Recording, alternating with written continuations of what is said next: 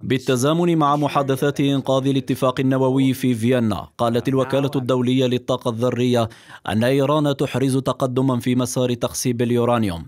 خطوة من شأنها تقويض المحادثات بين إيران والقوى الكبرى بشأن العودة للامتثال للاتفاق المتعثر.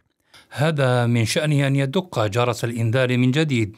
الأمر ليس عاديا. إيران بإمكانها فعل ذلك لكن إذا كان لديك هذا الطموح فعليك بقبول تفتيش. إنه ضروري.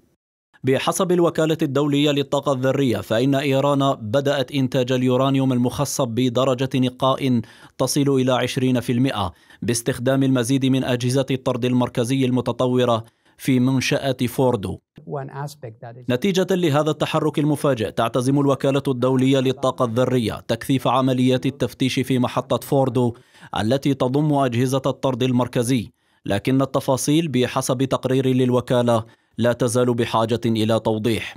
ويخشى المفاوضون الغربيون من أن تخلق إيران حقائق على الأرض لزيادة أوراق الضغط التي تملكها في المحادثات المستمرة رغم اتهامات طهران للكيان الإسرائيلي بإفسادها وتخريبها وهو ما وصفه المتحدث باسم الخارجية الإيرانية بترويج الأكاذيب عندما قالت إن إيران تعد لتخصيب اليورانيوم بدرجة نقاء تصل إلى 90% وهو المستوى اللازم لصنع سلاح نووي في حين تصر إيران مرارا على التأكيد أن برنامجها النووي موجه لأغراض سلمية.